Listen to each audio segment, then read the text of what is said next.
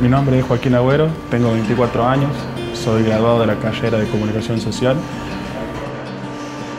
Ingresé a trabajar en el Ministerio de Emprendimiento e Industria a través de la red de trabajo de NAUNLAR. Y mi trabajo diario consiste en colaborar con el equipo de comunicación del Ministerio, generando contenido para redes, redactando gacetillas para los medios de comunicación y cubriendo las actividades diarias del Ministerio.